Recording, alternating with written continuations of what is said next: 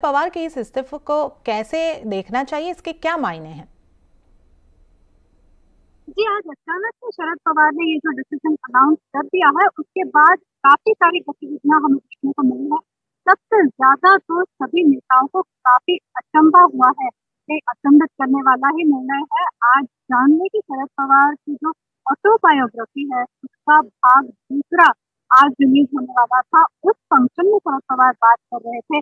2015 तक का उनका जो राज्य कार्यकाल था, उस पर उनका लोक माध्य सांकाती नाम का ऑटोबायोग्राफी की बुक था। वो पहले ही रिलीज़ हो चुका है। उसके 2005 के बाद का जो उनका राजनीतिक प्रवास है या उनकी, उनका जो राजनीतिक जर्नी है, उसके बारे में ये जो किताब है, उसका अनावरण आज हुआ था। उस वक्त बात करते हुए शरद पवार ने कहा कि अब मैं राष्ट्रवादी कांग्रेस पार्टी के प्रेसिडेंट पद से जो अपना रेजिग्नेशन देना चाहते हैं, वो इस पद से नहीं रहना चाहते हैं। इस डिसीज़न के बाद हमें देखने को मिला कि जो कार्यकर्ता है, वो खुद काफ़ी हक्का बक्का हो गए। काफ़ी सारे सारे लोग रोने से लग गए। काफ़ी कद्दावार नेता जो वहाँ पे मौजूद थे किसी किसी जयंत पाटिल हो पवार प्रफुल्ल पटेल हो, दिलीप परसे पाटिल हो, उनकी आँखों में हमें आँसू दिखाई दिए। जयंत पाटिल को खुद बात भी नहीं कर पाए जब वो मीटिंग में चाह रहे थे शरद पवार से कि वे अपना निर्णय वापस लें। तब से लेकर अब तक एनसीपी के जो कार्यकर्ता हैं, वो शरद पवार से भी हार लगाए हुए हैं। कि उन्होंने ये निर्णय वापस लेना चाहिए। फ़िलहाल तो इस निर्णय के बाद काफ़ी सारी चर्चाएँ और काफ़ी सारे रिएक्शन आ रहे तो विनया, अब एनसीपी का नया अध्यक्ष कौन बन सकता है?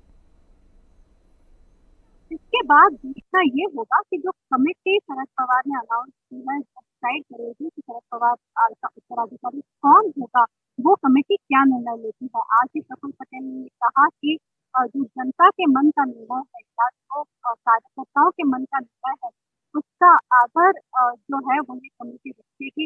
तो अब देखना यह है कि क्या कमेटी शरद पवार को वाकई ये बता सकती है या उनका मन मोड़ सकती है? वापस पार्टी प्रेसिडेंट पद देने के लिए, या फिर जो वर्षों से महाराष्ट्र की राजनीति में चर्चाएँ चल रही है कि शरद पवार के बाद पार्टी की डोर कौन संभालेगा? ये बागडोर क्या, अजित पवार के हाथ में जाएगी या सुप्रिया सुळे के हाथ में जाएगी? सुप्रिया खुद एक विधायक है और Ajit Pawar M L A है, जो कि चार बार उप मुख्यमंत्री है महाराष्ट्र के। अब ये कमेटी जो है इस पर चर्चा करेगी या हाल की बात है लेकिन राष्ट्रवादी कांग्रेस जो कि बहुत ही स्ट्रॉन्ग पक्ष माना जाता है शरद पवार ने आज अपनी ही पक्ष के संगठन में एक विचार ला के रख दिया हो इसके बाद कुछ दिनों में शायद पक्ष का जो स्टैंड है वो क्लियर हो जाए लेकिन मैं आपको बता दूँ कि महाराष्ट्र की राजनीति जिस दौर से जा रही है जहाँ पे विकास आघाड़ी इकट्ठे रहेगी या महाविकास आघाड़ी में फूट पड़ेगी इस बैकग्राउंड से शरद पवार का यह निर्णय काफ़ी महत्वपूर्ण माना जा रहा है. न सिर्फ़ महाराष्ट्र की राजनीति में, बल्कि देश की राजनीति में भी जहाँ हर विपक्ष अब कह रहा है कि भाजपा के खिलाफ आने का वक्त आ गया है। उस वक्त शरद पवार जैसे सत्तावार नेता, जो कि राष्ट्रीय लेवल पे एक ऐसा अहदा रखते हैं कि जो अपोजिशन पार्टी के काफ़ी सारे लीडर्स को एक जगह पे ले आ सकते हैं। उनके इस निर्णय से अपोजिशन यूनिटी पे क्या फ़र्क पड़ेगा, ये भी देखना